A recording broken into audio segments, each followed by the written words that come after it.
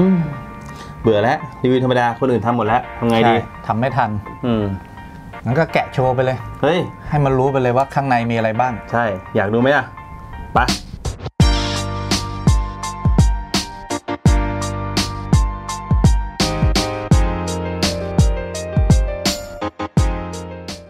อ่า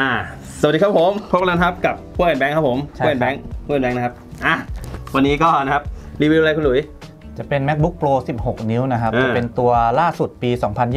บ2021 ที่ใช้ชิป M1 Pro นะครับอืมเป็นตัว Basic อืมแต่ราคาราคาไม่ Basic ราคา Super Professional เท่าไหร่ครับผม 89900สะนะดุ้งเลย ฟังทีสะดุ้งเลย นี่รุ่นถูกสุดละ จริงเหรอ มีอะไรดีข้างใน ก็โอ้โหถือว่าพลิกโฉมเลยนะอืมเพราะว่ายิ่ง Apple เขาตั้งราคาสินค้าสูงเท่าไหร่ นั่นครับหมายความว่าคุณภาพของสินค้าเขาเนี่ยเจ๋งมากเท่านั้น อืมอยากรู้แล้วอะเขาไม่ตั้งราคาแพงแบบเปล่าๆแน่นอนอืมครับผมถ้าอยากรู้ก็ยังไง เปิดกล่องดูเลยครับผมมาเปิดกล่องไม่พอแกะข้างในด้วยเออแกะเลยอะอะสังเกตดูดีๆ กล่องจะหนาขึ้นนิดหน่อยะหนามาก ถ้าเทียบกับพวก 13 นิ้วหรือว่าอ่า16 นิ้วตัวเก่าอืมโอ้โหมีอะไรบ้างข้างในข้อมือแทบเคล็ดจริงเหรอหนักเหรอถือถือมือเดียวหนักปะ จริงๆ ตามสเปคนะครับเขาระบุว่าหนักประมาณ 2 โลนิดอืมๆซึ่งมันหนักกว่า 16 นิ้ว นิดเดียวอะแดปเตอร์แต่ถือจริงเนี่ยมันมันรู้สึกว่ามันเหมือนว่ามันหนักกว่ากันพอสมควรอันนั้นน่ะ140 วัตต์อะแดปเตอร์นะอันเดิมกี่วัตต์ อันเดิม 97 ก็โอ้โหชาร์จเต็มอืมเร็วกว่าเดิมนะ มันมันออกแนวเรียวยาวมากขึ้นครับอันนี้ก็ยาวขึ้นนะ ใช่ ตามวัตต์ที่มากขึ้น เป็น fast charge ใช่ แล้วที่สำคัญครับสายโคตรเท่เลย จะซื้อเอาจะขอสายตัวนี้ละแถมสายอันเก่าให้ให้คนอื่นได้ไหมไม่ให้จะเป็นสายถักแล้วนะ ตัวนี้นี่หลายคน request มากนะ เพราะว่าชอบในความสวยแล้วก็ความสะอาด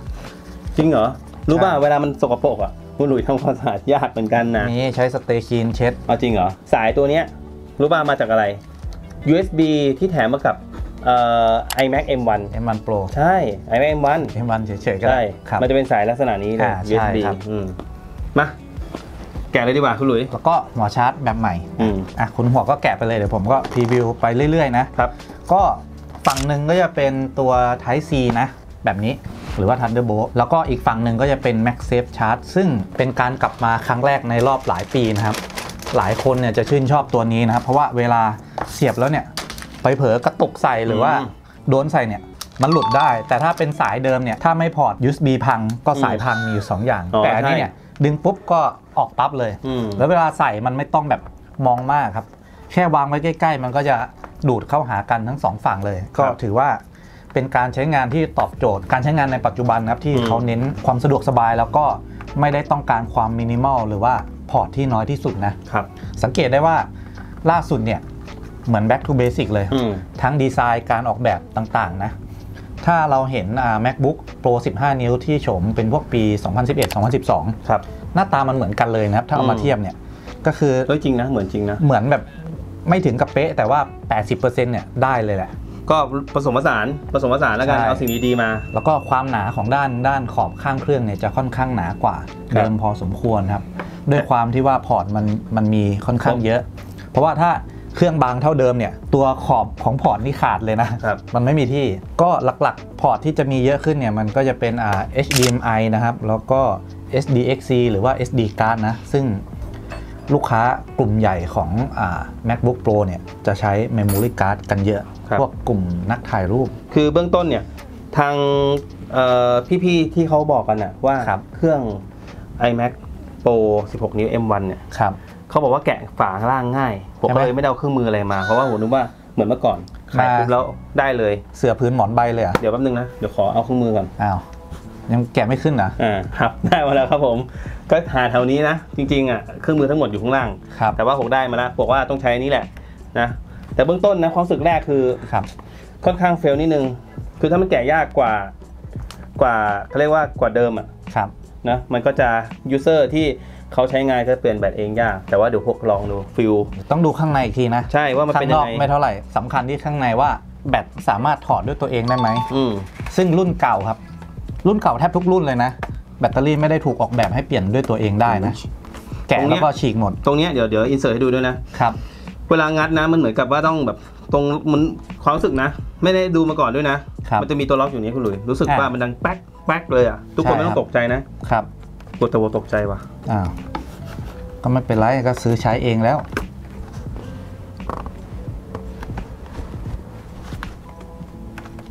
สไลด์แน่เลยอืมสไลด์แน่ ก็เอาเป็นว่า เดี๋ยวขอลองก่อนอ๋อโหยคุณหลุยมันนำหน้างั้นนะนึกว่าได้สิบสิบหกนิ้วใช้เองซะละกำลังเลงเลยว่าโหสไลด์จริงด้วยอ๋ออม นี่เป็นไง ด้วยความ professional ที่การผ่านการแกะมา 48,000 เครื่อง ถึงมั้ง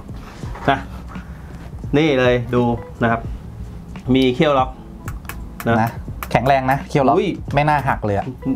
นี่คือทำมาแข็งแรงกว่าเดิมเยอะมาก ใช่ไหมแล้วเราใช่ มีหลายจุด วิธีการนะทุกคนครับ เปิดพออ้าขึ้นมาได้ปุ๊บเนี่ยครับหาเอาตัวสั้นๆเนี่ยนะครับ แล้วก็ยก ขึ้นมานิดนึงคุณหลุยอ่าแล้วดังแป๊กสองข้างปุ๊บแล้วเราสไลด์ออกมาอย่างนี้เลย อ่าครับผมอะต้องโอเคต้องฟังสังเกตฟังเสียงให้ดี อืมเพราะถ้าไม่มีเสียงเนี่ยแสดงว่าล็อกไม่ได้มันยังไม่ไม่ได้ไม่ได้กันพอดี ไม่มีเสียงดึงก็ตัวใครตัวมันเรียบร้อยเลยนะ อะ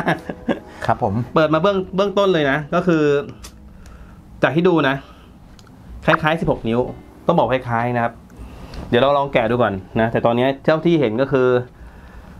คล้ายมาก เหมือนมากนะคล้ายมาก layer แบตเตอรี่นี่เหมือน ใช่เพราะว่า sink ของ 16 นิ้วเนี่ยครับ มันจะเป็นแนวขวางในนี้แนวตรงเดี๋ยวมี insert คู่ให้ดูด้วยใช่นะคครัรับบอะเริ่มแกะต่อเลย แต่แบตเตอรี่ดูดีนะแบตเตอรี่ดูจริงๆดูมันโค้งมนนะ จริง ๆ เหมือนดีไซน์16แบตเตอรี่ใหม่จริงๆหน่เหอยมือนเหมือนเหมือนเหมือน 16 นิ้วครับ เหมือนครับผม คล้ายเลยนะ ใช่โอ้โหนี่ครับ เบื้องต้นที่เห็นเลยก็คือนะครับ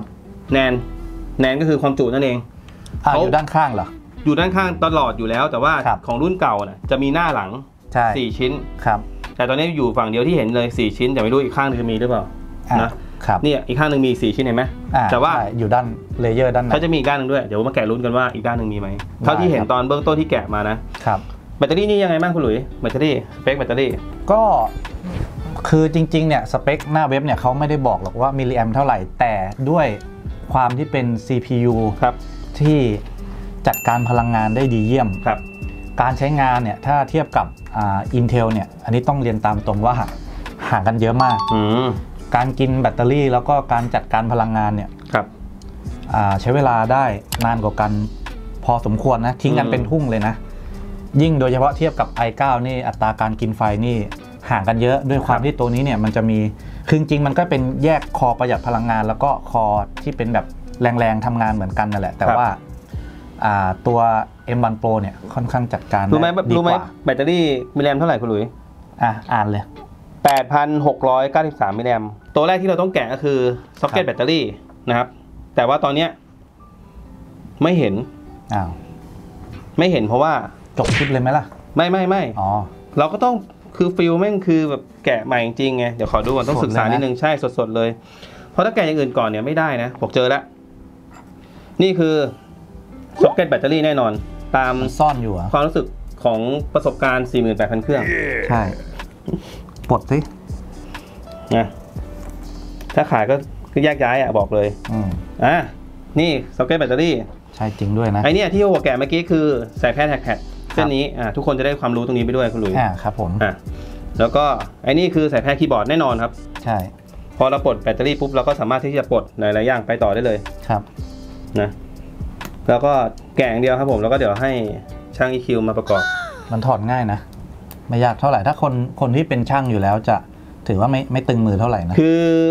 ประสบการณ์เราไง เพราะว่าแม็กอะเขาครับมีเขาเรียกว่าดีไซน์ด้านในเนี่ยครับคล้ายๆกันเราก็จะเข้าใจเขาในเบื้องต้นอยู่แล้วไงว่ามันเป็นยังไงบ้าง โดยเฉพาะ 16 นิ้วนี่ถือว่าใกล้เคียงไหมเวลาแกะใช่ใช่ใกล้เคียงแค่อยู่คนละที่เฉย layer บอร์ดก็คล้ายกันนะครับอ่าบวกขวบคราวนี้คือ ผมคิดว่านี่คือสายแพทย์แบตเตอรี่นะครับผมจะแกะอย่างอื่นแล้วนะ ถ้าช็อตคือช็อตนะอ้าวฮะไม่เป็นมีไรควันไหมไม่ไม่มี เดี๋ยวจะได้ใส่แค่หน้ากาก แค่ตอนประกอบแล้วไม่ติดแค่นั้นเองอะหนึ่งร้อยเปอร์เซ็นต์ครับ ดีไซน์โคตรเท่เขามาซ่อนตรงนี้นะ เพราะว่าจริง ๆ แล้ว ทุกคนคงไม่ค่อยรู้ครับผมว่าเอ่อมันมีปัญหาเยอะมากๆซ็อกเก็ตแบตเตอรี่รุ่นเก่าอ่าๆนะตัวนี้เขาน่าจะแก้ไขเป็มานการดีไซน์ที่แก้ไขปัญหาเดิมๆที่เคยเจอนะ ใช่ครับผมโอ้สุดยอดอะ เห็นแล้วก็ในส่วนของอ่าสเปคนะครับสำหรับตัว M1 Pro 16 นิ้วตัวนี้เนี่ยความแรงเนี่ยเรียกได้ว่าถือว่าแรงมากๆ เพราะว่าออก M1 ตัวแรกมาชิมลังครับสเปคหลาย ๆ อย่างนี่ก็แรงกว่า i7 ละพอเป็น M1 Pro ปุ๊บเนี่ยโอ้โห CPU เนี่ย10 คอนะครับ แล้วก็ GPU 16 คอ การทำงานต่าง ๆ เนี่ยเร็วแล้วก็ ลื่นขึ้นอย่างเห็นได้ชัด หลายคนถามว่าเอ๊ะเพิ่งแกะเครื่องทำไมรู้ว่าเร็วอืมก่อนหน้านี้เล่นมาหลายเครื่องนะครับแล้วก็ดีกว่าจริงนะ โดยเฉพาะคนที่ทำงานจริงครับๆคนที่ใช้งานในแบบทั่วไปนะ เปิด YouTube เล่นหนังอะไรพวกนี้มันมันไม่รู้สึกเลยว่ามันแตกต่าง แต่คนที่ใช้โปรแกรมในการตัดต่อแล้วก็ render งานนะครับครับจะเห็นได้ว่าผลลัพธ์เนี่ยเร็วกว่าแล้วก็มีประสิทธิภาพกว่าพอสมควรเลยครับอืมก็เวลาเป็นเงินเป็นทองครับหลายคนเนี่ยทำทีเนี่ย render กันเป็นชั่วโมงนะแต่ว่าอันเนี้ยมันย่นระยะเวลาเหลือแค่ 30 นาทีนะครับครับทำให้ใน 1 วันเนี่ยก็สามารถหาเงินได้มากขึ้น ไม่กี่งานก็ซื้อเครื่องได้แล้วก็คนที่ทำงานสายนี้นะครับ ครับ ใช้ Mac มาตลอดอยู่แล้วนะร้อยทั้งร้อยนี่ไม่มีพลาดเลยรุ่นเนี้ยอืม โดยเฉพาะอ่าหลายๆท่านนะที่เป็นอ่านักรีวิวต่างๆ ที่เกี่ยวกับภาพหรือว่าครับวิดีโอนะ ครับ ออกมารีวิวตัวนี้แล้วก็ชมกันเยอะมากครับอ่าทางเพจเราก็เลยไม่ได้รีวิวเรื่องสเปค ย่อยละเอียดมากนะใช่เพราะว่ามีคนทำก่อนหน้านี้แล้วอยู่พอสมควรครับครับของเราก็จะเน้นเป็นการอ่าแกะเลยแล้วก็ให้ดูภายในนะครับว่ามีโครงสร้างแล้วก็อ่าอะไรเปลี่ยนแปลงบ้าง มีอะไรที่เปลี่ยนแปลงบ้างนะครับอืมแต่ที่เห็นเลยนะ ตอนเนี้ย port Type C นะครับครับทำให้แข็งแรงมากขึ้นแน่นอน เพราะปัญหาเก่าตั้งแต่ปี 2016คุณหลุยอะไทซีนะที่เป็นขาโฉมใหม่ครั้งแรใช่จนถึง เอ่อ2020 ใช่ไม่มีการเปลี่ยนแปลงเลยเหมือนกัน ใช้เลยอุปกรณ์เดิมๆหมดครับเสียเยอะมาก ก็มันไม่ถึงกับเยอะแต่ว่าปัญหาที่เจอพอมีก็ใช่ก็ถือว่าคือเราเจอแต่เครื่องเสียเราก็เลยบอกว่า ครับ เสียเยอะเพราะลูกค้าก็เสียก็มาซ่อมกับเราเยอะ ใช่ เราก็เลยเห็นแต่เครื่องเสียเยอะ เพราะอ่าจุดเดิมที่ที่ปัญหาที่เสียนี่เกิดจากอะไรบ้างครับ คือไทซีที่เขาดีไซน์ออกมาเนี่ยครับเขาเอ่อดีไซน์มาแล้วไม่แข็งแรง เวลาลูกค้าเขาเอาสายเสียบเนี่ยอ่าที่มันไม่ได้คุณภาพ หรือมีคุณภาพนี้ผมก็ไม่สามารถฟันธงได้แต่ว่าอาจมันจะฮัสึบก อาจจะฮับหรือว่าอย่างอื่น ใช่ มันสึก มันสึกปุ๊บมันช็อต อ่า โอ้โหร้ายแรงมากนะคืบางมันเครื่องมันโยกข้างในใช่ไหมหรือว่าไง คือมันไอพื้นไอพื้นผิวของเขาเนี่ยมันสึกลงไม่ได้ มันเป็นมีเนียมอ๋อสึกเลยเหรอปุ๊บใช่จากสึกข้างในเลยเหรอใช่สึกจากข้างในเลยอืมโหดร้ายมาก ปกติใช้มือถือก็ไม่ค่อยเห็นสึกเลยนะรูรูมันเป็นพลาสติกที่ไงรูอ๋อไอ้นี่มันเป็นมีเนียม อ่า ก็ตอนนี้ก็แกะไปเรื่อยๆนะไอ CPU เนี่ยที่มันตัวใหญ่เนี่ยมันมันเป็นยังไงบ้างคุณหลุยที่เขาบอกว่าดีขึ้นอะ โอ้โหแรงแรงกว่าเดิมเยอะเลยสเปคอืมก็ตามที่ตัดลงมานะครับ ทั้งเรื่องการกินไฟแล้วก็ความแรงในการใช้แอปต่างๆนะครับ ก็เดี๋ยวทำกราฟิกให้ดูเลยนะครับครับ ก็แรงกว่าเดิมเยอะเอาง่ายๆเลยครับอืมถ้ามีเงินแล้วก็มีงบประมาณแล้วก็ใช้ทำงานจริงๆเนี่ยยังไงก็คุ้มครับ มันแรงกว่า M1 ธรรมดาเยอะมาก แล้วก็ M1 ธรรมดาเนี่ยแรงกว่า i7 ขึ้นมาอีกระดับหนึ่งครับ ก็เรียกได้ว่าอ่าดีกว่ากันแบบ เป็นทอดๆแล้วก็ไม่ต้องมานั่ง A/B test เลยนะ ว่าครับอันไหนเร็วกว่าไม่เร็วกว่ามันครับ มันไม่ต้องอย่างนั้นเลยครับ เพราะว่าแรงกว่าแล้วก็จัดการพลังงานได้ดีกว่า และที่สำคัญนะครับ ความร้อนเนี่ยน้อยกว่า อืม ไม่ได้บอกว่าไม่มีนะ ถ้าทำงานหนักจริงๆเนี่ยพัดลครัมบยังไงก็ต้องวิ่ง อืม แต่ความร้อนเนี่ยน้อยกว่ายังเห็นได้ชัดเลย ถ้าเทียบกับ Intel ที่เป็น i9 นะครับผอืมม เพราะว่าถ้าเครื่องความร้อนสะสมนานเนี่ยความเร็วก็จะตกลงไว ครับ ตัว M1 Pro แล้วก็ M1 Max เนี่ยค่อนข้างจัดการได้ ดีกว่าพอสมควรอีกเช่นกันนะครับอืมสเปค M1 Pro นี่แรมพื้นฐานที่ให้มาก็จะเป็น 16 จิกอยู่นะครับ แล้วก็จะมีความแตกต่างกันในเรื่องของจอด้วยนะครับ จอนี่ถือว่าค่อนข้างเทพเลยนะครับ ก็จะเป็นเทคโนโลยีใหม่แต่ว่าไม่ได้ใหม่ล่าสุดนะครับ ก็จะเป็น Liquid Retina XDR หรือว่า Mini LED นั่นเอง ซึ่ง เราจะเคยเห็นใน iPad Pro 12.9 กันมาแล้วนะครับ แล้วโทนสีเนี่ยคล้ายกันมากอืมรวมไปถึงโปรโมชั่นครับ ไม่ใช่โปรโมชั่นลดราคานะ เป็นเทคโนโลยีจอ 120 เฮิรตซ์อ๋อที่สามารถอ่าหวังผลเรื่องวิดีโอได้ค่อนข้างดีครับ ด้วย frame rate ที่ครับให้ดีขึ้นนะครับ เวลาทำงานที่มันละเอียดเนี่ย หรือว่าอ่าแสดงภาพแสดงผลต่างๆ เนี่ยดีมากเลยครับอืมรวมไปถึงผมเชื่อว่าอนาคตน่าจะมีเกม ที่เป็นภาพสวยๆ เอามาทำให้เฮ้ยตอนนี้เขาสำหรับใช้งานได้นะ เพราะว่าเขาลงแล้วสนี่เปคมันแรงเขาลงได้แล้ว คือจริง ๆ ตอนนี้เกมเกมใน Mac มันมีมาเยอะครับมานานอยู่แล้วครับแต่ว่ามีไม่เยอะอืมแต่สเปคนี้เอาจริงๆถ้าเล่นเกมมันมันปรับสุดได้ทุกเกมเลยแหครัละบทั้ง CPU แล้วก็อ่า GPU ที่เป็นในส่วนของกราฟิกเนี่ย มันเจ๋งมากๆครับอืมก็เดี๋ยว กลัวทุกคนจะเสียเวลานะ เดี๋ยวพอจะแกะแล้วเนี้ยเริ่มครับแกะแล้ว เดี๋ยวจะแกะออกมาเป็นชิ้นปุ๊บ แล้วเดี๋ยวพวกจะให้กลับมาแล้วก็รีวิวในแต่ละชิ้นให้ทุกคนดูอีกทีหนึ่งครับไปเป็นไงบ้างครับคุณหลุย ก็ต้องแกะด้วยความระมัดระวังครับ เครื่องแรก แล้วก็ไม่ดู insert ไม่ดูรีวิวมาก่อนด้วยครับเพราะว่าเน้นความสดอยากได้อารมณ์ไงได้ได้ไหมล่ะ อารมณ์แน่ต้องพังอะอารมณ์ตื่นเต้นนะ ดูท่าทางมีเหงื่อนะ นิดนิด คือเขาค่อนข้างที่จะซีเรียสมากขึ้นนะผมว่านะในการดีไซน์เพราะว่าจริง ๆ ราคาถ้าเปรียบเทียบกับเขาสื่อหวกนะครับ89,900เนี่ย จริงๆนะมันก็ไม่ทิ้งกับ15นิ้วหรือ16นิ้วในปีก่อนๆหน้านี้นะใช่จริง ๆ แล้วอะมันก็คือแต่เราราคาใกล้ๆเคียงเดิม แต่เราไปติดภาพปี 2020 ที่ถือว่าก็ถูกเขาเขาทำมาค่อนข้างถูกที่อืมมันก็ไม่ได้ถูกอะไรมากหรอกมันก็เริ่มที่ 70,000 กว่าครับ แต่ก็ได้ 16 นิ้วไซส์ใหญ่เลยอืมแต่ถ้าย้อนกลับไปปี 19 18 ใช่ ยุคนั้นก็แพงนะ ใช่ i 9นี่ 90,000 เหมือนกันนะ ตัวท็อปอะคือเราขายด้วยไง เราขายของใหม่ด้วยไง มันก็เลยทำให้เราเข้าใจว่ากลไกที่เขาผลิตราคาออกมาเนี่ยครับให้ทุกคนได้ซื้อเนี่ยมันคืออะไร ในบางใช่ครับปีเขาก็อยากจะลดลงมาเพื่อที่จะมาสู้ในตลาดที่เขาสามารถที่จะแย่งลูกค้ากลับมาได้ครับอาจจะเป็นตรงมากกว่าเทคโนโลยีที่ไม่ได้เปลี่ยนมากนักอืมราคามันก็เลยไม่ได้แพงขึ้น เท่าไหร่หรือถูกลงเฮ้ยเป็นไงครับนะครับเดี๋ยวยังไงเดี๋ยวให้คุณเหน่งอินเสิร์ตนะอะตอนเนี้ยหัวก็ได้เอา 16 นิ้ว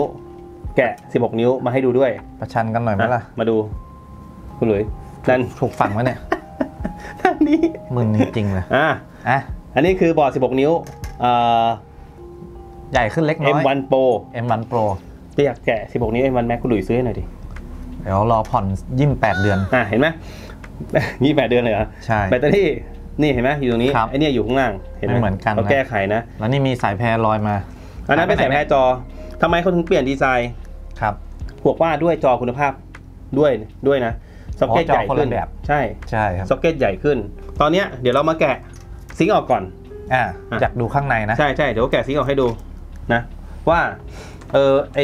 M1 Pro เนี่ยมันเป็นยังไง ครับผม อืม อยากดูว่าไซส์มันใหญ่หรือเปล่านะ เพราะว่าเคยเห็นของ iPhone หรือว่า M1 ที่เราแกะมาจนชินตาละครับ M1 นี่ก็ไม่ใหญ่นะชิป ไม่ใหญ่เล็กเลย ไม่ใหญ่ ชิปนี่เหมือนชิป iPad นะ เหมือน iPad Pro อ่าผู้บอกจริงๆผมบอกแล้วว่า จริง ๆ ที่เขาทำ M1 ขึ้นมา เพราะว่าเขาเอาครับต้นแบบจาก iPad นั่นแหละ มาใช่ทำใช่ MacBook ที่เขาคิดออกนะบอกว่าตอนก็นั้นเป็นคิดก็เป็นว้าวชิปจากมือถือนั่นแหละที่ใช่ เขาพัฒนามาใช่ เป็น 10 ปีนะ แล้วมันมาผลิดอกออกผลตอนนี้ครับ พอดี โอ้ยซิงค์ เบื้องต้นนะ คือเขาบอกว่า M1 อะครับ ในปีก่อนก็คือปี 2021 ใช่ไหมต้น2020 20 ใช่ไหมอะใช่ คือถ้าใช้งานหนักๆ เวลามันร้อนอะครับมันจะช้าลง ใช่ แล้วมันร้อนเร็วมาก เพราะ Mac Air มันมีพัดลม อ่า ถ้าแอร์ ถ้าแอร์นี่จะเจอปัญหาเรื่องความร้อนกันใช่บ้าง แต่ถ้าใช่โปรนี่ก็ ก็มีถืว่าแต่น้อย มีแต่น้อยใช่น้อยลง บอกว่านะตัวเนี้ย ซึ่งเบื้องต้นนะเห็น CPU เขาแล้วเนี่ย สะดุดเลยนะ ใหญ่ CPU มากเขาก็ใหญ่ ใหญ่เหมือนไอ้นี่เลยอะเหมือน i9 เลยอะเหมือน i9 ของ Intel อะใช่อ่านะเดี๋ยวยังไงเดี๋ยวถ่ายรูปแล้วให้ดูชัดๆเลย แล้วก็ครับ ที่เห็นว่ามันสุดยอดมากๆคือเนื้อที่ซิงค์อะเดี๋ยวครับจะแกะตัวเนื้อให้ดูด้วย อ่าครับ คุณหลุยส์เขาเปลี่ยนเขาเปลี่ยนวัสดุนะ เปลี่ยนดีไซน์เลยแหละ เป็นดีไซน์ด้วยแล้วเปลี่ยนใช่วัสดุด้วย ครับ เพราะว่า มันไม่เหมือนไม่เหมือนเลยพอแกะปุ๊บบอกรู้ทันทีเลย เพราะว่าผมแกะเยอะไงนี่มันเหมือนแฮนด์มอไซค์นะใช่ทรงกี่กี่ใบระวังหักนะครับอ่าๆโอเคมาก็เดี๋ยวระหว่างหวบ ระหว่างหวบเอ่อให้ดูอุปกรณ์บนบอร์ดนะครับคุณหลุยฝากคุณหลุยแกะหน่อยครับอะแกะเป็นไหมนี่ไขได้สี่สี่ตัวนี่อาชีพเก่า แล้วตรงนี้มีอีกสี่ตัว งัดแงะนะอ่าโอเคแกะเดี๋ยวให้จะเปรียบเทียบกันว่าเป็นยังไงบ้างนะ เบื้องต้นนะครับหัวอธิบายให้ดูชัดๆอย่างนี้ นี่ ก็คือ CPU ที่เขาบอกว่า M1 Pro นั่นเองครับผม แต่ว่าแรมของเขาเนี่ยครับเมตรละ8กิกเนี่ยครับอยู่บนตัวของ CPU นะครับ ครับ ไม่ใช่ไม่ใช่เอ่ออยู่ข้างนอกแล้วนะ อ่าจริงๆของ M1 ก่อนหน้านี้ครับแรมตัวนิดเดียวเอง ใช่ แต่นี่คือเขาเอาแผ่นแผ่นแรมหนึ่งแผ่นเลยเต็มๆเลยไม่ได้ใช่ ไม่ได้ตัวเล็กด้วยนะ นี่เต็มๆเลยวางบน CPU เลย ใช่ครับ ซึ่งบอกว่านี่จากดูจากเอ่อรูปลักษณ์นะ ไม่ต้องห่วงว่าจะช้าเลย นี่มาครับแบบเต็มที่เลยอะ ใช่ เพราะมันถึงกันแบบ แค่แบบมันไม่ใช่เซี่ยววินะ มันแบบอ่ามันนับเป็นหน่วยดิจิตอลแบบเล็กจัดเลย เล็กอะจนอ่าไม่รู้ว่าเรียกว่าอะไรนะ โอเคครับผมก็ครับผ่านไปกับตัวนี่นะครับตัว CPU นะ ที่ครับ A1 Pro นั่นเองนะอะแล้วก็นะครับที่ผมเห็นอีกอย่างนึงก็คือด้านหลังเขาทำมาไม่เหมือนรุ่นอื่นนะครับ ไม่เหมือนรุ่นอื่นเลยคือด้านหลังของ CPU เนี่ยนะครับสร้างซิงค์ระบายความร้อนเนี่ยด้านหลังด้วยนะ ซึ่งซึ่ง CPU ในตัวเริ่มเทิมเลย แล้วเขากลัวมากๆเรื่องปัญหาความร้อนนะครับตรงครันี้บไม่ต้องห่วงเลยว่ามันจะร้อนแต่อย่างใดนะเขาดีไซน์เผื่อไว้ละโอ้โหสุดยอดมากอะ่ะคือเรื่องระบายความร้อนนี่เขาแบบกลัวมากนะเขาก็เลยจัดมาเต็มที่เลยเกี่ยวกับครับ CPU นะเห็นไหมหน้าและหลังเดี๋ยวจะเปรียบเทียบตรงนี้ให้ดูว่ามันเป็นยังไงบ้างนะอะครับต่อเลย Wi-Fi คุณหลุย Wi-Fi ก็เป็น Wi-Fi มาตรฐานล่าสุดครับนะครับ ก็จะเป็น Wi-Fi อ่า6ซึ่งจะมีอยู่ใน iPad Pro ตัวใหม่อ่าแล้วก็ iPad mini ตัวครับล่าสุดครับ ก็เป็นสเปค Wi-Fi ที่เป็นความเร็วสูงสุดละอ่าครับผมก็จริงๆดีไซน์แล้วใหม่ไหมดีไซน์ใกล้เคียงเดิมแต่ตัวเล็กลงอ่าเล็กแต่ว่าลงเขาตีกาวมารอบเลยก็คือจริง ๆ แล้วรุ่นอื่นนะครับ ไม่ได้ตีกาวมาหนาขนาดนี้นะ ตีกาวมามีมีกาว แต่ว่าไม่หนาขนาดนี้อ่เป็นกราวอ่ากาวครับผมกาวนี่คือไม่ให้ไม่ให้คนอื่นแกะง่ายๆเลยอ่าครับผมพยายามจะให้ช่างไม่ให้ช่างเปลี่ยนนะแต่ว่าเราก็คืออ๋อไอตัวกาวตัวเนี้ยนะใช่กาวข้างๆเนี่ยมันทำยากนะ ก็ทำได้หมดมันมันพยายามทำไม่ให้เราเปลี่ยนนั่นเอง แต่ว่าเราก็เปลี่ยนได้นะอะครับ ต่อมาที่คือฮาและหวือหวามากๆคือ port ต่างครับผมๆ SD card นะตัวนี้ SD card นะใช่ไหมคุณหลุยใช่ SD เป็น card นะ SDXC หรือว่า SD card นั่นเองอ่าทำมาแบบพรีเมียมมากๆทำไมถึงบอกว่าบวกบอกว่าพรีเมียม มันเหมือนมันเป็นล็อกที่ป้องกันการขยับหลายชั้นนะอืมมันเหมือนเป็นเป็นแบบอ่าผูกติดแล้วก็ มีเป็นส่วนที่ลึกเข้าไปข้างในใช่เพื่อความแข็งแรงเพราะว่าถ้ามันลอยมาเดี่ยวๆอย่างเงี้ยครับมันจะหักง่าย มันครับ เหมือนเหมือนอาช่อง SD card ของคอมพิวเตอร์เมื่อก่อน อ่ามันจะเป็นแค่ port แปะ ครับแต่ตัวนี้เนี่ยมันเหมือนเป็นชิ้นที่เป็นงับเข้าชิ้นเดียวกันเลย โดยที่แบบว่าข้างในอะคือทำข้างนอกให้สวยก็พอนะ อันนี้ครับ ไม่พอทำจากสวยยันข้างใน แล้ววัสดุดีมากเลยนะ ใช่ใช่ คือดูด้วยตาเห็นเห็นเลยครับว่า ไม่เคยเห็น port SD card ตัวไหนสวยเท่านี้คือไม่ได้ใช่อวยนะ แต่ว่านี่คือใช่ คือหัวเองก็คลั่งกับบอร์ดของ Apple อยู่แล้ว เพราะหัวจับครับ มันเหมือนกับเป็นถ้าชิ้นเทียบกับ port port รุ่นเก่าที่เป็น SD card เป็นไง โอ้คนละเรื่องคนละเรื่องเลยตัวนั้นนี่ต้องเปลี่ยนกันบ่อยนะ นี่แบบทำมาแบบดีมาก แล้วก็มันชอบสกปรกครับเขาก็เลยไม่ทำให้มันลึกคุณหลุยดูดิอ่าตื้นมากนะ มันทำให้ตื้น เสียบนิดเดียวเองเฉพาะใช่ เฉพาะตรงปลาย ใช่ เพราะว่าเวลามันสกปรกเราทำความสะอาดยาก เราจะใช่หย่อนโซเวนเข้าไปแล้วก็ขัดมันก็ขัดไม่ถึงไงครับเขาก็เลยทำให้มันตื้นด้วย แล้วใช้งานได้ผมว่าน่าจะดีมากพอร์ตน่าจะทนทานอ่นะโอเคต่อมาก็คือครับ HDMI ครับผม HDMI ก็เหมือนกันพื้นพื้นพื้นพื้นๆแต่ว่าก็ดูหนาแน่นอยู่ ใช่แต่ว่าคือสีสีของสีพิเศษนะมันอืมมันมันมันไม่ใช่เป็นสีของอ่าอลูมิเนียมหรือว่าสแตนเลสครับวัสดุทั่วไป คือนะถ้ามันเสีย ผมคิดว่าน่าจะเอารุ่นอื่นมาอัดับยาก เพราะว่า เขาทำให้มันแตกต่างตรงรุ่นเอออย่างมาก เดี๋ยวเดี๋ยวให้ช่างเหน่งเอ่อตากล้องเหน่งอินเสิร์ตให้ดูนะ มันคมัรันบแตกต่างจริง คือสีมันออกแบบเขาเรียกว่าอะไรอะเหมือนไทเทเทนะเทใช่เหมือนไทเทเนียม เพราะว่าตัวนี้ยังยังไม่ได้ดูฮาร์ดแวร์แบบเจาะลึกนะใช่แต่ว่าแต่ว่าสีเนี่ยมันแตกต่างจากใช่ก็คือวัสดุเมื่อก่อนตื่นเต้นนะพอสมควรตื่นเต้นพอสมควรนะผมอะครับ แล้วก็สิ่งที่มันเปลี่ยนไปอย่างหนึงก็คือ Thunderbolt หรือหรือ C port น่ะอ่านะไทสีมัน Type C เนี่ยนะครับมันมีแค่3สามสามช่อง port ใช่ จาก 4 port ครับ ครับ เพราะว่าหายไปนิดนึง ใช่ คือปกติแล้วการทำงานของเอ่อ Type C เนี่ยที่อยู่ครับในในบอร์ดเนี่ยมันทำงานครับร่วมกัน 4 port ใช่ตอนนี้กลายเป็น 3 port ผมว่ามันก็มีหน้าบนบอร์ดน่าจะมีอะไรเปลี่ยนแปลงเกี่ยวกับระบบไฟนะ เดี๋ยวยังไงครับ มาเจาะลึกอีกทีนึง อะ ครับแล้วก็ port พวกเห็น port อะไรแจ็คหูฟัง อ่าอะ อยู่ไหนครับ แจ็คหูฟังจะเสียบขอดูหเป็น่นอย เป็น เดี๋ยวนะหัวขอดูก่อนนะ งงนิดนึง อ่าโอเค หาย ไม่มีไม่หายอ๋อมันครับอยู่ข้างในอยู่ด้านด้านนอกตรงนู้น มันอยู่ที่นี่เป็นโมดูลใช่เป็นโมดูลแล้วสามารถเสียบได้ เพราะฉะนั้นถ้าใครครับฟังเพลงกระหึ่มแล้วหลวมแบบถอดเข้าตลอดหลวมอ่าสามารถเปลี่ยนจาก port ได้เอาเปลี่ยนเปลี่ยนเฉพาะตัว port ใช่โมดูลได้เนาะใช่ครับผมเหมือนในมีแค่ Mac นั้นเองเหรอเหมือนใน Mac ตัวนี้มันพิพิเศษยังไงคุณหลุยไอ้ก็คือสเปคของช่องหูฟัง 3.5 นะครับครับก็คือจะรองรับ High Impedance Headphone หรือว่าหูฟังที่มีค่าความต้านทานสูงนะครับอืมซึ่งปกติเนี่ยอ่า MacBook รุ่นทั่วไปเนี่ยมันครับไม่สามารถขับหูฟังที่มีค่าความต้านทานสูงอย่างเช่นแบบ 150 โอห์มอย่างเงี้ยอืมมันมันฟังได้แต่ว่าเสียงมันแผ่วแล้วก็เบาอ๋อแต่ตัวนี้เนี่ยมันสามารถรองรับขับได้หูฟังที่ขับยากขึ้นอืมและเชื่อว่าเสียงดีด้วยครับ คือตัวนี้เนี่ยต้องต้องบอกตามตรงว่ายังไม่ได้ลองฟังคุณภาพเสียง แต่ว่าเท่าที่ลองฟัง onboard ของ Mac หลาย ๆ รุ่นเนี่ยถ้าเทียบกับอ่า PC ทั่วไปเนี่ย ครับสำหรับอ่าแล็ปท็อปเนี่ยผมอยู่อยู่ให้อยู่ในเกณฑ์ดีเลยอืมครับผม โอเค ก็ถือว่าดีนะ ถ้าไม่ทำติดบอร์ด อะไรที่ไม่ติดบอร์ดมันดีอยู่แล้วเพราะดีต่อใช่ user โอเคใช่ก็ manage manage ง่ายขึ้น ใช่ ซ่อมแซมง่าย ใช่ ถ้าก็ติดบอร์ดหมดนี่เรื่องใหญ่เลย ต่อมาก็คือ Type C ที่ผมบอกเมื่อกี้ตั้งแต่ตอนที่แกะฝาหนังออกมาครับผม Type C 3พอร์ตเนี้ยนะครับทำมาบอกว่าแข็งแรงมากอ๋อก็เป็นซ็อกเก็ตเหมือนกัน ใช่เป็นซ็อกเก็ตแล้วก็ขามันเปลี่ยนได้ดีขึ้น เปลี่ยนได้นะ ใช่ดีขึ้น ถ้าเสียตัวหนึ่งก็ถอดเปลี่ยนตัวเดียว ใช่เมื่อก่อน 2 พอร์ตจะติดกันเป็นคู่แพ็คกันมาเลยอ่าอย่างนี้เลยนะเดี๋ยวนี้โอเคเลยนะผมชอบนะ แล้วก็ดูดูแข็งแรงกว่านะ ใช่ MagSafe ก็เป็นพอร์ตแยกต่างหากโอ้โหใช่ดีมากเลยอะคือดีเปลี่ยนเปลี่ยนมากแค่หัว MagSafe ก็พอใช่นะใช่สมมติถ้าเสียๆคือจริงๆ ตั้งแต่รุ่นเก่าก็เป็นเป็นอย่างนั้นอยู่แล้ว แต่ว่าใช่รุ่นเก่ามันจะเป็นแบบซ็อกเก็ตโบราณนิดนึงใช่แต่เนี่ยซ็อกเก็ตอย่างเงี้ยคือมันซ่อมง่ายด้วย แล้วก็ใช่ครับผมว่ามันเสียยากด้วย แกะแกะซ็อกเก็ตก็แกะได้ใช่ไหมสบายไม่สบายเท่ไหร่อีกอย่างหนึ่งที่เห็นก็คือไมโครโฟนครับผมไมโครโฟนนี่เขาพัฒนาขึ้นมาดีมาก ก็ตัวเริ่มเทิมเลย ไมค์ก็อัดเสียงได้ชัดอยู่แล้วอืม macbook ตั้งแต่รุ่นเก่าโดยเฉพาะรุ่นโปรครับอัดเสียงดีมากครับดังนั้นเนี่ยเรื่องการอ่าใช้งานด้านเสียงหรือว่าการสนทนาทั่วไปเนี่ยอ่าเหลือๆเลยครับครับผมโอเคก็นะบนตัวบนตัวบอร์ดนี่คือ ถ้าให้บอกบอกนะว่าเขาพัฒนาแค่ไหนคือเขารวบรวมเลยนะ การอ่าวางดีไซน์บอร์ด เพราะว่ารุ่นตั้งแต่ 16 นิ้วเนี่ยรุ่นเก่าเนี่ยโอเคคุณหลุยส์แกะแกะให้ละทำไมมันติดอย่างนั้นอะเดี๋ยวเดี๋ยวเดี๋ยวเดี๋ยวเดี๋ยวโหช่างใหม่หัวใจว้าวุ่นอ่าโอเคอ่านี่นี่นี่นี่แฮนด์เล็กเปรียบเทียบก่อนแฮนด์เล็กครับ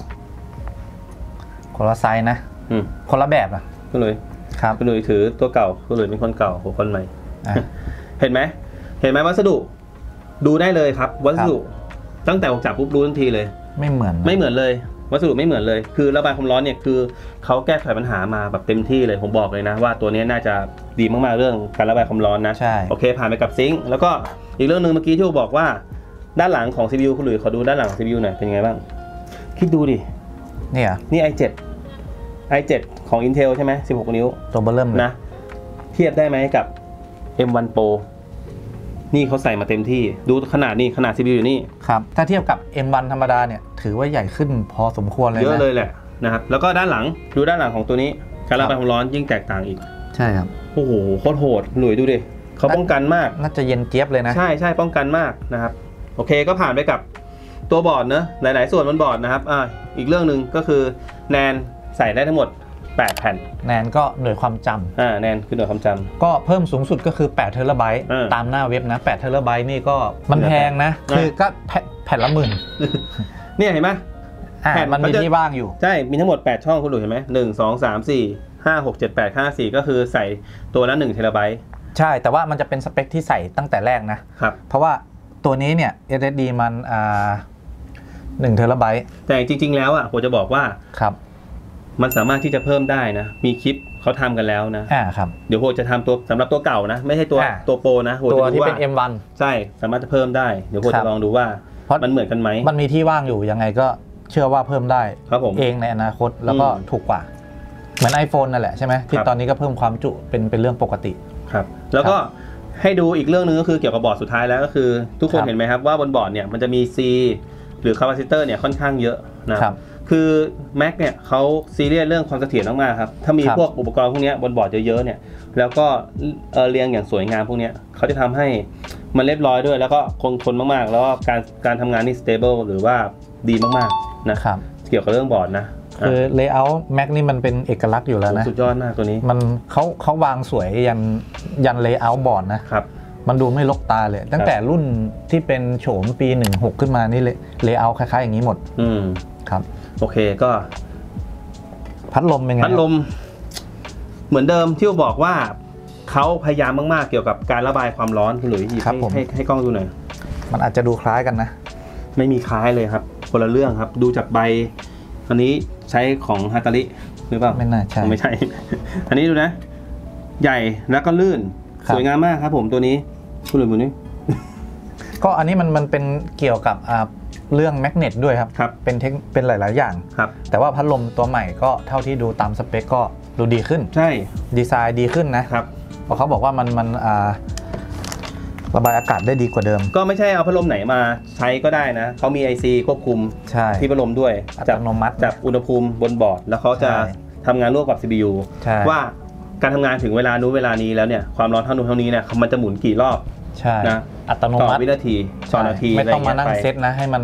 เบาแรงเหมือนอ่าคอมสมัยก่อนครับผมอะไม่ต้องพูดถึงเรื่อง overclock นะเฮ้ยสุดยอด อันนี้มันมันมันเลยยุค overclock มาหลายปีละใช่ครับอะครับต่อมาด้วยลำโพงก็คือ เท่าที่ดูก็คือตัวหนาขึ้นใหญ่ขึ้นมี 6 ตัวใช่ไหมคุณหลุยในสใช่เปคครับผมอืมลำโพงนะครับก็ตำแหน่งจริง ๆ มันต่างกันนิดหน่อยนะ แต่ว่าคือตามสเปคก็คือ 6 ตัวเหมือนเดิมครับ อ่าได้ฟังเบื้องต้นแล้วถือว่าค่อนข้างดีเลยนะ เพราะว่าอืมอย่างน้อยเนี่ย15 นิ้วปกติเนี่ยเสียงมันดีอยู่แล้วครับ16 นิ้วก็ดีขึ้นครับซึ่งตัวนี้เนี่ยถ้าเทียบกับ 16 นิ้วตัวเดิมเนี่ย ผมว่าให้ให้มิติอะไรพวกนี้ดีขึ้นด้วยอืมแล้วก็ใครชอบดูหนังเนี่ย ตัวเดียวจบได้นะ เพราะว่ารองรับระบบ Dolby Atmos ด้วยครับค่อนข้าง surround เลยแหละ โอเคก็ต่อมาด้วยเรื่องที่ทุกคนเอ่ออยากรู้ก็คือแบตเตอรี่ครับแบตเตอรี่เนี่ยที่เบื้องต้นที่ผมเห็นเนี่ย พวกบอกว่ามันเหมือนกันจริง ๆ แล้วดูดีๆ แล้วไม่ใช่ครับครับแบตเตอรี่สามารถจะแกะเองได้ด้วยอะการสามารถเปลี่ยนเองได้ การเปลี่ยนนี่ยากไหมทุกคนเคยเห็นเขารีวิวการเปลี่ยนแบต แบตเตอรี่ iPhone ใช่ไหมมันจะมียางอะดึงออกใช่ครับ ดึงออกดึงสักเส้นไหมไม่ล่ะได้เดี๋ยวประประกันไม่มีอะ ดึงทีเดียวนี่มันมันเป็นยืดๆนะ อะก็เดี๋ยวมัน ให้ตากล้องเน่ง insert ให้ดูว่า ใช่ดึงยังไง การดึงกาวของ iPhone เป็นไง มันอ่ามันเหมือนเป็นกัน ลักษณะเดียวกัน ใช้กาวแบบเดียวกันทำไมเขาถึงทำให้แบตเตอรี่แกะออกได้คุณหลุยรู้ปะก็แกะเองได้ไม่ได้แกะออกได้ ช่างแกะได้อยู่แล้วแต่ว่า user แกะยากแต่ว่าตอนเนี้ยเขาทำให้ user แกะง่ายทำไมรู้ปะก็เขาน่าจะขายแบตเตอรี่ด้วย อ่าเฮ้ย เก่งจริง สุดยอดว่ะเขา Apple เขา plan ไว้แล้วครับในปีหน้า ตอนนี้ครับคือที่ test ที่อเมริกาก่อนเลยครับสามารถจะขายแบตเตอรี่นะหรือขายอะไรก็อะไรแล้วแต่ที่สามารถที่จะเปลี่ยนเองได้ ใช่ อย่างเช่น จอครับนะครับแบตเตอรี่ยกหัวนะอะไรอย่างเงี้ยประมาณเนี้ยคือเขาครับขาย user ไปเปลี่ยนเองเลย แล้วเขาบอกใช่วิธีเปลี่ยนด้วยนะ ใช่ ไม่เออมีกั๊กนะ ไม่มีกั๊กเลย ต่อไปเราก็คงจะทำไง หาชิปใหม่ พูดเล่นนะ ก็ยังซ่อมยังก่อนเลยซ่อมได้เออยังยังมีที่ให้ยังมีที่ให้ทำมาหากินนะอะต่อแต่ว่าอ่าการเปลี่ยนแบตเตอรี่แบบเนี้ยก็ครับไม่ถึงกับง่ายนะ ก็เพราะว่าถ้าสุ่ม4สุ่ม5แซะทีเดียวได้นี่ได้ควันขึ้นนะ ก็ต้องใช้ความชำนาญอยู่ระดับใช่หนึงใช่เหมือนกัต้องนต้องพยายาม ค่อยๆทำถ้าไม่รู้ก็ค่อยๆทำใช่ครับเดี๋ยวขอแล้วโซก็นต้องมีเครื่องมือที่พร้อมนิดหน่อยนะครับผมขอโซนนิดนึงครับอ๋อ เป็นไงพ่อหนุ่ม ไอ้นี่อะชิ้นเนี้ยคือชิ้นเดียวกับแบตเตอรี่ครับ แผ่นแผ่นบอร์ดเนี้ยใช่ครับ โหทำมาแข็งแรงมากเป็นขนาด IC แบตเตอรี่นะยังยังแบบพยายามแบบทำดีมากนะแบตเตอรี่ดีไซน์ใหม่หมดแหละอะก็ต่อมาเรื่องสุดท้ายแล้วกันนะ ครับ ยังไม่สุดท้ายดีกว่า จอก่อน คือเราแกะมามันก็ได้แต่เห็นแต่ไอจอเนี่ยเราก็เลยใช่ ประมาณนี้ราะว่าให้ทุกคนดูมันมันไม่สามารถแกะจอแล้วแยกออกมาได้นะ จริง ๆทำอย่างนั้นได้นะทำได้สบายอยู่แล้ว แต่ว่าใช่โหจะทำให้แต่ดูมันอประย่างนี้กอบกลับคืน มันภาพไม่ได้น่าสติดบายได้อ๋อ สบาย แต่ว่านี่ทำทำไมใช่ไหมใช่ คือตัวจอเนี่ยนะครับเปลี่ยนแปลงเยอะมากคุณหลุยทำมาท่าหกได้ไหมคนละดีไซน์เลยนะอ่าทำมาท่าหกได้ไหมเปิดขึ้นมาโอ้ผมจะให้ลูกค้าดูลำบากนะเพื่อให้ทุกคนเข้าใจได้ง่ายขึ้นเราก็ต้องพยายามอะไม่เป็นไรต่อเลย หมุนท่านี้อะหมุนอีกทีอ่าโอเคหมุนอีกทีอะอะโอเคนะครับ เห็นไหมซ็อกเก็ตทุกคนดูนะซ็อกเก็ตจอนะครับ กับตัวนี้ซ็อกเก็ตจออันเดียวนะไม่เหมือนกัน ไม่เหมือนกันเลย ซึ่งซ็อกเก็ตจอตัวนี้เล็กนิดเดียวเองครับ ตัวเนี้ยใหญ่มาก socket น่าจะจอแข็งแรงกว่า แข็งแรงด้วยแล้วก็คุณภาพของจอเนี่ย เราก็รู้เหนือกว่าด้วยไว้ได้เลยว่านะครับเขาทำมาดีมากๆนะครับ แต่เหนือสิ่งอื่นใดก็คือความแข็งแรงของแพรจอแล้วก็ซ็อกเก็ตนะ เพราะว่ารุ่นเก่านี่ที่ที่เคยเจอปัญหาก็คือ 45 องศา ใช่ใช่ ที่อกอ่าซ่อมกันเยอะๆอะเพราะว่าเวลาเราใช้งานเยอะๆพวกเนี้ยในการเปิดพวกเนี้พัยบกลางตลอดก็ไม่ได้ หรือว่าพับตลอดก็ไม่ได้ เพใช่ราะว่ามันออกแบบให้เป็นอย่างนี้อยู่แล้วใช่แต่บางคนเนี่ยอาจจะเปิดผิดจังหวะ หรือว่าเวลาปิดเนี่ยกระแทกครับกับของที่อยู่อ่าตรงใต้ตรงนี้อืมมันก็อาจจะทำให้ตรงนั้นเสียหายอ่าอันนี้ก็ทนทานขึ้น ใช่นี่ทนทานขึ้นมากครับผมเกี่ยวกับการพับจอนะแล้วก็ครับเชื่อได้ว่าคุณภาพของจอเนี่ยเต็มที่แน่นอนอุ้ยจอจอเหนือกว่ากันเยอะมากครับ ก็ บางคนก็ติ่งนิดเดียวคือบอกไม่ชอบไม่ชอบติ่ง อ่า แต่ว่าเขาก็จะมีโหมดปิดติ่งตรงนั้นได้อีกก็คือเป็นสีดำทึบเลย อยากได้เหมือนเดิมก็ได้อ๋อเหรอ แล้วเป็นอย่างนี้เลยนั่นตรงนี้เลย มันก็ดำดำทึบขอบเข้ามาเสมอติ่งไง ครับ แต่ว่าเดี๋ยวก็ชินเอาจริง เดี๋ยวก็ใช่ ชินเพราะว่าพื้นที่หน้าจอเยอะกว่าอย่างนี้ก็ดีกว่า เราเลือกไม่ได้ เอาจริงนะ ครัจบ ริง ๆ แล้วไม่ใช่หรอก จริง ๆ แล้วเขาทำเขาต้องมีเหตุผล ครับ ตอนแรกผมคิดว่าเขาทำติ่งปุ๊บเนี่ยผมเห็นในแวบแรกเฮ้ยสแกนหน้ามาแล้ว ใช่จริง ๆ ในใจคิดนะ มีมีเหลือที่จอดรถไว้อยู่แต่ว่ายังไม่ยังไม่ใช่ไม่ทถูกต้องำเจนทำหแน่นอนเจนหน้ามาแน่ใช่ทำแน่นอน เพราะว่าตรงเนี้ยเขาพยายามทำครับพื้นที่อะให้สามารถจะใส่สแกนหน้าเข้าไปได้ใช่สแกนหน้าโมดูลนะครับตัวไม่ไม่ใช่เล็กนะครับ ค่อนใหข้างญ่หนานะนิดนึง ตอนนี้อาจจะยังทำไม่ได้นะครับเพราะว่ามันเป็นชุดชิ้นเลนแล้วก็หลาย ๆ อย่าง แต่ที่บอกดูนะ เบื้องต้นคุณหลุยครับเขาพยายามทำแล้ว เพราะว่าใช่บอดี้หนาขึ้น ใช่ ดูรู้เลยขอบจอหนาขึ้นหนานะขึ้นแน่นอน เอาไว้ใส่ของข้างใน ใช่ เดี๋ยวมาแน่นอนครับ เรื่องครับ สแกนหน้านะ แล้วก็กล้องตรงเนี้ยตอนเนี้ยก็ไม่ใช่ว่าธรรมดานะ ข้างในมี IC เยอะมากนะตรงนี้คอยตรวจจับนะครับเป็นเซ็นเซอร์เยอะใช่ไหม ใช่ครับ อืมโอเค แล้วก็สุดท้าย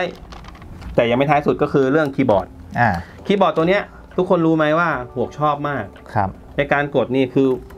มันกลับมา feel เดิมเลย มันแข็งแล้วก็เด้งดีมากนะ ใช่ มัน mechanical นะ ครับ ถ้าเป็นสายเกมเมอร์อย่างผมนี่ถือว่าชอบเลย แล้วก็สายโปรแกรมเมอร์นะครับ ที่เขาต้องการก็พิมชอบพ์เยอะนะ ๆเขาชอบมากเพราะว่าพี่ชายหวกครับ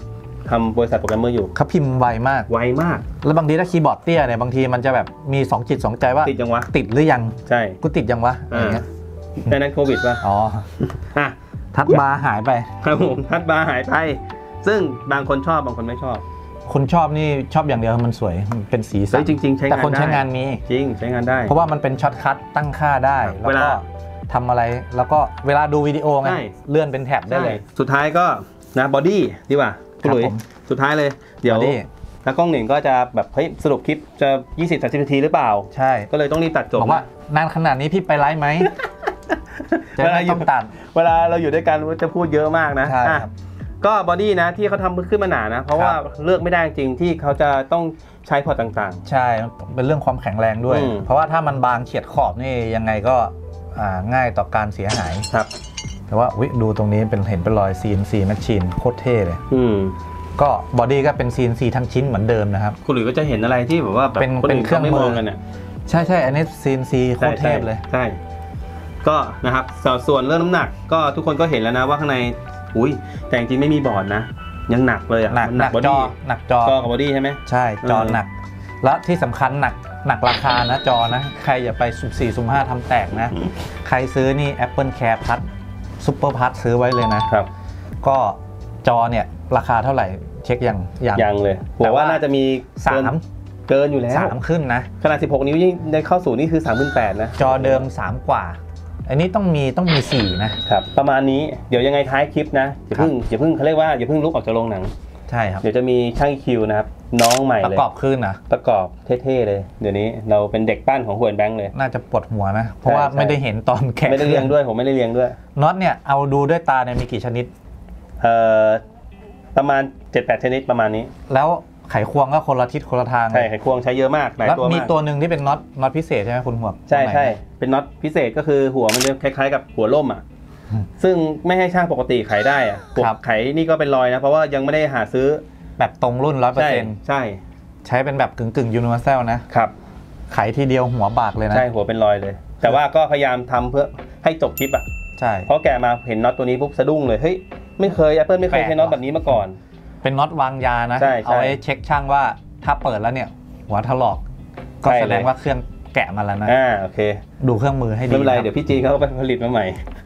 เป๊ะแน่นอน ขอเวลานิดนึง ครับผมโอเคนะ ใครชอบนะผมคลิปประมาณนี้นะครับ ครับก็ยังไงก็ฝากติดตามนะคุณหลุยนะ ครับ YouTube ครับผม Facebook แล้วก็ TikTok TikTok อ่าแล้วก็อินสตาแกรมก็มีนะอ่าไอจีนะอ่าโพสต์โพสต์ขายของแบบวิบวับวิบวับนะครับครับแล้วก็ไม่หยุดแน่นอนครับผมที่จะครับทำ content ดีความรู้ดีเพื่อให้ทีทุกคนนะใช้ง่ายขึ้นใช่วันนี้ไปก่อนบ๊ายบายหุ่นแบงค์บ๊ายบายครับผมครับสวัสดีครับ สวัสดีครับ Walk my way.